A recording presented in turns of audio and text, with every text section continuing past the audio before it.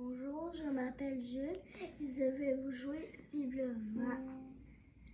le